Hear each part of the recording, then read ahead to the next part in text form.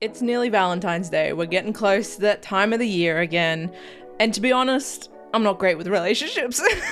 but today I'm going to be counting down 10 TV shows and movies that make me wish I had a girlfriend. And I honestly couldn't order these, so we're just gonna jump in for whatever first came to mind. So the first one I have is Love to Death. I'm not even gonna try and pronounce its original title. It's a Mexican soap opera. I I'm just gonna butcher it, so we're not gonna do that. But obviously, we got the couple Juliana and Valentina in it. Oh god, I love these two so much, and I was so obsessed when this was airing. They just give me the feels, you know? They give me the feels. They have those looks. Those eyes are intense. They're looking at at each other intensely, and I am just in love. And it gives me the butterflies, right? And I'm like, god damn, that's what I'm missing. they also got the great like, oh, I mean a kind of a height difference, but they're both like tall. Uh, but I just like love them both. They're just, uh, Tina is just golden. And I am still patiently waiting for their spin off to happen. I haven't heard anything about that, but moving on. Of course, I had to put uh, Waverly and Nicole from Wynonna Earp. When I think about what I want to do most in this world, it's you. I would have to say more specifically season one because they like season one Waverly Nicole gave me the feels. Their first kiss, holy shit, that got me. That got me so good. Like it got me in the feels. Okay.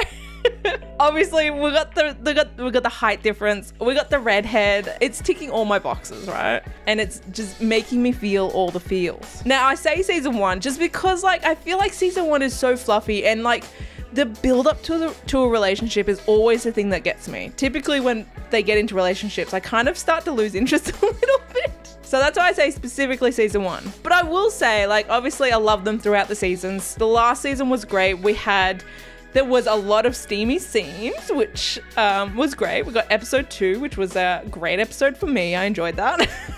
we also had a wedding. I'm not typically a huge fan of like, because it's typically it's typically like a rushed wedding, and it frustrates me because I have a fear of commitment. but I love their wedding, okay? but we're gonna move on because like I'm exposing all my flaws right now. I'm fine. Next up, I've put the movie Professor Marston and the Wonder Woman because oh my god, Elizabeth and Olive in this movie, so good. Is this what you really want? You. I just love the like the passion and the love in this movie. Like they just uh, they love and want each other. And it just you can feel it. Obviously, you know, there's some great scenes in this movie as well. which I thoroughly enjoyed. But I also, like, you know, love the ending. Like, they stayed together, which, I mean, you know, if you don't know, it's kind of based on a true story. Yeah, I don't know. I think, like, the ending where I saw them, like, sort of like walking off together uh, when they were older, I was like, oh, god damn. Okay, so that's what we want. Okay, I see. I see why people want these relationships. It's cute. Moving on, we've got Yorkie and Kelly from San Junipero, which is the episode from Black Mirror. Oh, this got me in the feels. Again, you know, we got the height difference, we got the redhead, you know, you know, okay, we get it. They also just have chemistry. I love the whole like dynamic of you know, Yorkie's really shy and she just, you know, needs someone to lead her. And I relate. Look, I need a Kelly in my life, right? I need a Kelly, please. and like we got a happy ending, which is great, like especially for a Black Mirror episode. Like it's like you can live forever. And you know, it does trigger some of my nervous commitment issues. But you know what? If I had their love, maybe I wouldn't be scared of forever, right? Next up, we've got Emily and Sue from Dickinson. You really are my favorite person in the world. Let's just run all the way to the edge of the earth fall off. Sounds nice. These two were a roller coaster, I'm not gonna lie. Because, you know, I did mention, I did mention like my favorite part of relationship is the build up, but we didn't get that with Emily and Sue. Like they're in it from the get go. And I love that, but it's messy. Like it's not like, oh, they're together now. It's like happy until like a stupid drama comes along. I want the mess. I want you. It was a complicated relationship through the whole thing. And honestly, I just love the actresses. they just, they get me. You know, Hailee has my heart. I mean, so does Ella. They both do. but they just have so much chemistry. And like when they get those like really close moments, oh, they give me the butterflies, you know? In the last season where like Emily pushes Sue up against the wall, it's like, we need to talk later. I was like, damn. Hey, girl, hey. yeah, these two are complicated because like it's a complicated relationship. Obviously, because it's based on an actual real life people. But like in my mind, where they live like sort of happily ever after, it's like, damn, yeah, that's I could I could want that. but I don't know. They're, they're just they're they're their moments together are just so captivating that like I love it. I love it. Next up, I've put Teenage Bounty Hunters. Because look, I'm whipped for these two. We've got April and Sterling. And look, I'm not even going to lie. I feel like the main reason behind this is I've just got a massive crush on Devon. I'm not going to lie.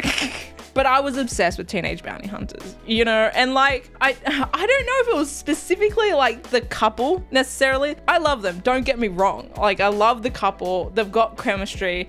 But like I said, had a serious crush on like Devon. But I also like, I don't know, when it was just like the community around this show and like how excited people were around this couple and like I don't know the the the sort of I don't know what it was about the community, but I was like, oh man, I want to experience this with someone. it was just a fun time. It was a fun time, okay? Next one, look, I was contemplating whether I should put this one on my list or not, but like I have to put it on this list because it does it does give me all the feels and it makes me want that happily ever after, even though they don't necessarily get it. I put Dani and Jamie from Bly Manor. While you wait for your beast in the jungle, you want company? like the saddest freaking ending of all these couples. The whole point is to make you cry. It's like a depressing ending, but their relationship is like everything to me. You know, like they love each other so much and they're here to make the most of the time that they have with each other. And I can feel that. I can relate to that. Because it's like sometimes I get stuck in my head of like, I don't know where this is going, what's happening. Like I get like stuck in the future a lot of the times, you know? And I get into like these anxiety spirals. But Dani and Jamie just really like grounded it and they were like, the future doesn't matter. We're just enjoying now and we're enjoying each other while we have each other. And I was like, oh God, okay, yes, I want that. Next, I've got A League of Their Own. Oh, this show was just so good. I freaking love this show. Obviously, we've got Carson and Greta. Thanks for believing in me. I don't know if anyone's ever done that before. The pleasure's all mine. I mean, chemistry, right? Height difference, right? Just here for it. Again, we kind of have that, like, like with I was saying with Yorkie and Kelly, we've got that kind of like shy dynamic with Carson, and like Greta is like leading. You know, I just, I, I, I, I want that.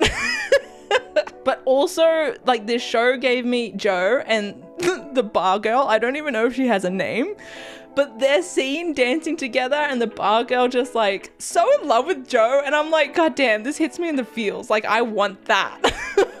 so, yeah, this show made me want a girlfriend in multiple ways, like with multiple of the characters. I just. I need a season two of this goddamn show. Next up, I've got the movie Crush. We got Paige and AJ. Wait, duh, what about AJ? Why would I ever do that? That's Gabby's sister. This movie made me want a girlfriend more so in the way that I just kind of wanted someone to like love this movie with, you know, just be able to like I don't know, chill out together and like snuggle and watch the movie. Cause like it's not necessarily the couple, but it's just the cuteness of the movie. It's like this movie makes me want to enjoy it with a girlfriend, right? it's that kind of movie. It it would be best enjoyed with someone. I don't even know what I'm saying at this point. Okay, last one, last one. last one, I've got the movie Summerland. We've got Alice and Vera. Was she the one you loved? Would you think it was strange? No. I just ugh, love them, right?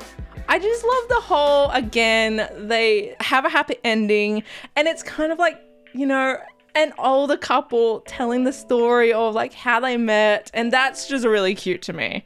That's really cute. Even though they had like a period where it didn't work out for a long time, I like that we got to see like their whole life, like their relationship develop throughout their whole life. Because it's not going to be easy and perfect and amazing throughout the whole thing. And they had their issues and they were separated for a good part of their life as well. But they ended up finding each other again. And I just love that. But yeah, that's my top 10 movies, TV shows currently that make me want a girlfriend going into Valentine's Day. Let me know what gives you all the feels in the comments below. I need a whole list of TV shows and movies to to occupy myself for this coming Tuesday. Otherwise, I will see you all in my next video. Okay, bye.